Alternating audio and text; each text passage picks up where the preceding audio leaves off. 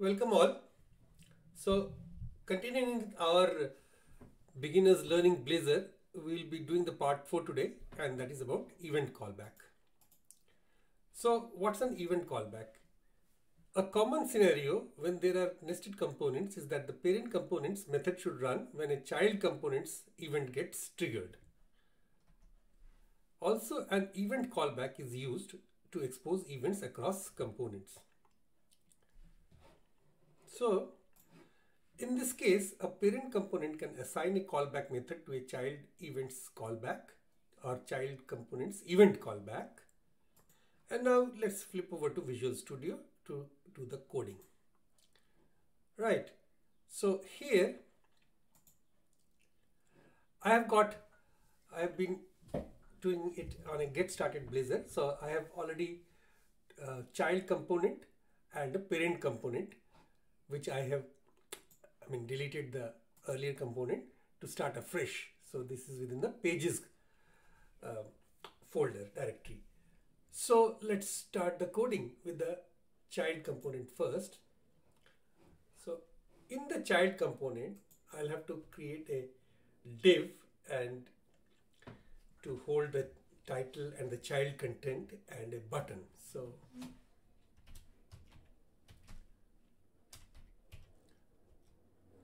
Hope it's alright for you to code along.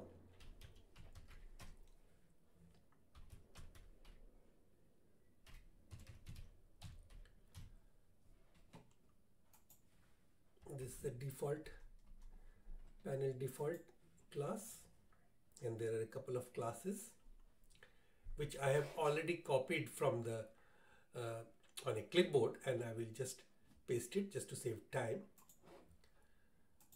So one is the panel heading. Class for writing the title and another is the panel body for the child content. Okay. Now there is a button and we'll be talking about the click event of the button.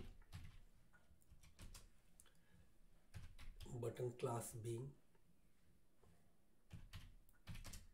btn btn primary or button button primary which is commonly used um, class bootstrap class and at on click. So I have not written the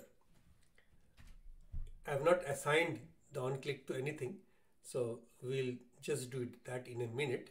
Let me write the on click what this on click is assigned to. That will be the event callback. All right? So let me just complete this first.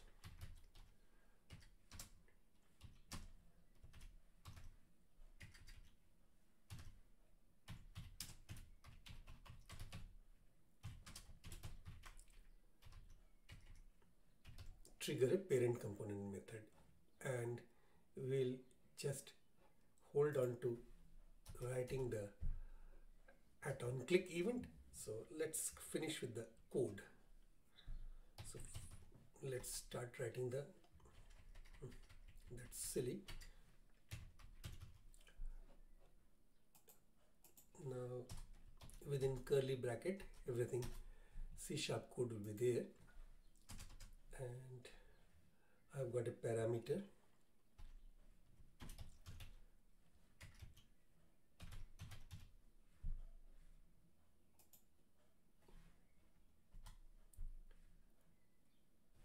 and will be a public property.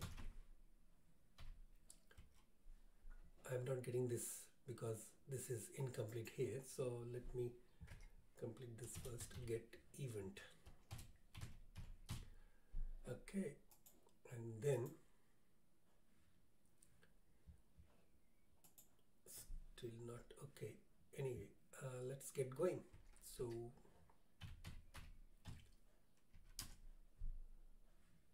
public string title get set no At the moment because there are some squiggly lines so let's do one thing um, let me build this application. Now, for some reason, the IntelliSense was uh, the earlier not coming. Uh, that could be a bug in Visual Studio or somewhere. So what I did was I just um, deleted the child component and then recreated the child component. And then I have written all the code that I have explained so far within the div class. And now the IntelliSense has started working you can see. So um, let me complete it. So what's the property? What's the parameter? This um, a component parameter is basically a public property. And through this parameter um, attribute. So bouncing over as you can see that you know parameter attribute denotes the target member as a component parameter. So it actually explicitly does so. Is this is a child component and it's a parameter uh, child component parameter you know that needs to be in here. It recognizes this as a parameter. So then again parameter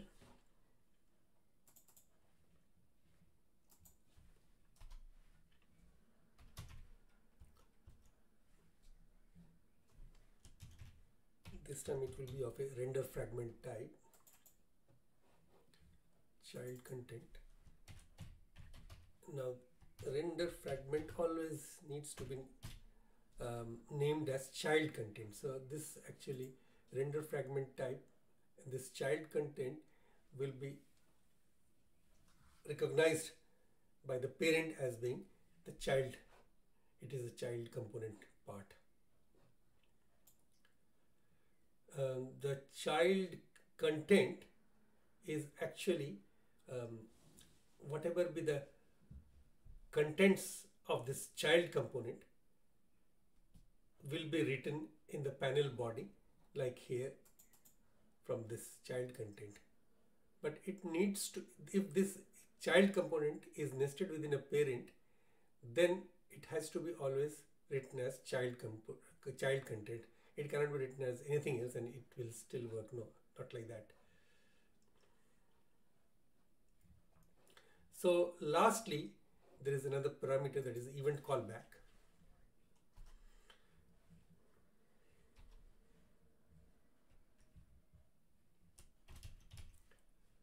So again a parameter and this is a public event. This is our the gamut of our study. Today event callback. And this is of type mouse event args. And let us call this get event. Again a getter and a setter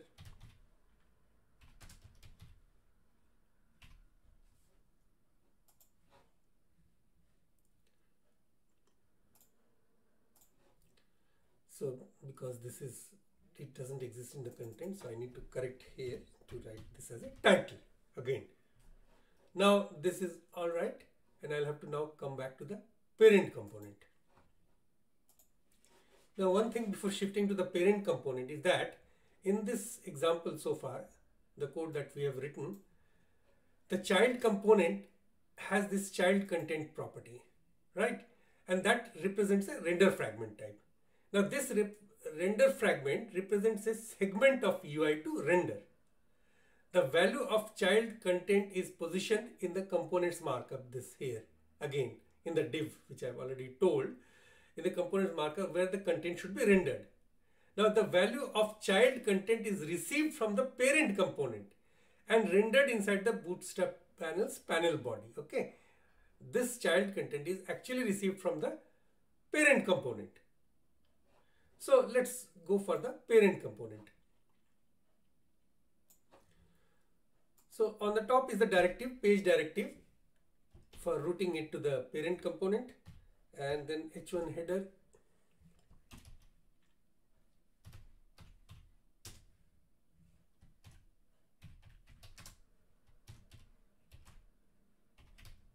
Parent child example. And then is the child component Now, the beauty of Blazor is that you know this child component or any component that is nested within that another component which is the parent component in this case and child component this child component can be written just like an ordinary html tag you know. So with child component and end child component tag. And this will get all the um, you can say parameters of the child component child component title equals let me write and this um, after building this red line will become a red title will become you know um, this same color violet dark violet or marine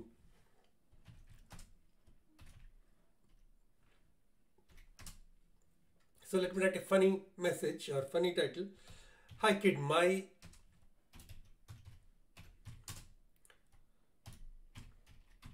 parent supplied title something like that.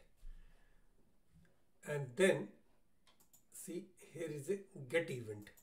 Now this get event is now transferred over here. This acts like a method. Uh, this acts like an event you know just like a on click event or on change event get event. And now I'll write assign it to uh, delegate type which is a method that I'm going to soon write. So at show message at this moment there is nothing. So it is showing this squiggly line. Now here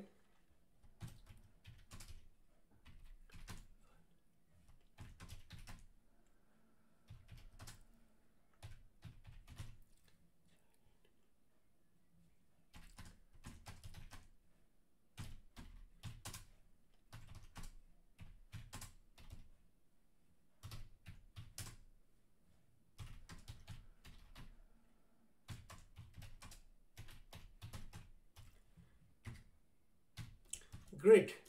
Really funny message, I believe. Hey all, I am the child. I'm happy for my parent to supply the content. Okay. You can write anything else, of course. And let me come back to where this show message um, will be shown. So there will be a message text.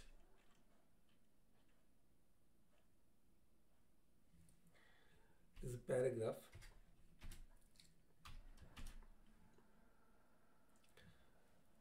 let us write. There is a variable as yet to be created variable. So let me name this message text and soon everything will be clear. Just be patient with me uh, at message text and let me write this in bold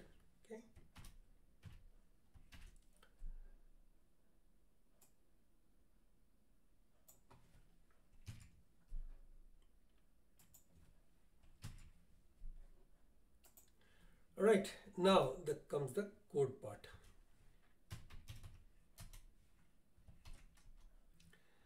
So I'll have to now declare this message text as a private string.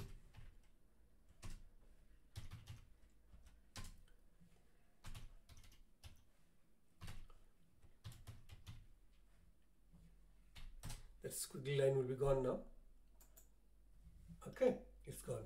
Now I'll have to create this delegate type or the event handler method which is show message. So again this is private type.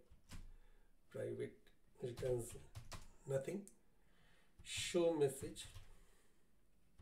Spelling has to be the same exactly. No typo is allowed. Show message. It's all case sensitive as well. So here is nothing but a message text is updated to something like you know blaze a new trail with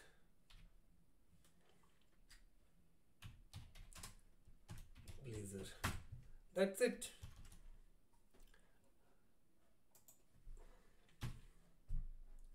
Now let me build this. Uh, cannot convert method group show message to non-delegate type object Okay, let me build this application. So yippee, the build succeeded. So now these all these squiggly lines are gone. So we are ready to run this application. Control F5 again.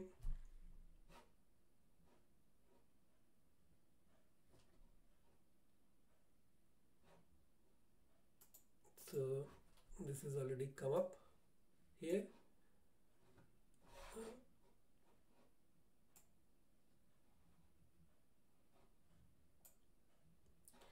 And then let's browse to component rather parent component.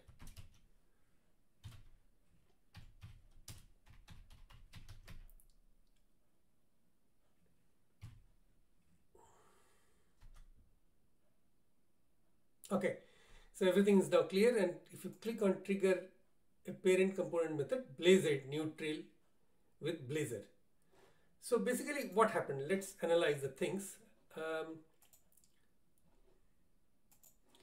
now the child component in this sample demonstrates how a button's on-click handler on-click handler is set up to receive an event call delegate. Now this is getting a event call delegate which is of event callback type from the sample's parent component. Okay, it gets this delegate from the sample's um, get event. So it is getting through this get event, which was originally initiated in the child component. Now it is getting the result out of the running of this show message method. And what happens is that it, it is set up to receive the event callback delegate from the sample's parent component this way. It's all interconnected and the event callback is tagged with mouse event args. See, this is the mouse event args, which is an appropriate for on-click event from a peripheral device. Now, when the button is selected in the child component, like we did, the parent component's show message method is called. Okay, so get event equal to it is calling the show message method is called, and message text is updated and displayed in the parent component. Okay. Clear? Okay, so before leaving, let's recap what we learned today. So event callbacks were seen and how they help in exposing events across components. That's it.